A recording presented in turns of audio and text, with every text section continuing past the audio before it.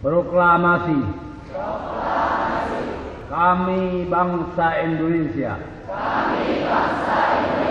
Dengan ini menyatakan kemerdekaan Indonesia. Hal-hal yang mengenai pemindahan kekuasaan dan lain-lain diselenggarakan dengan cara bersama dan dalam tempo yang sesingkat-singkatnya.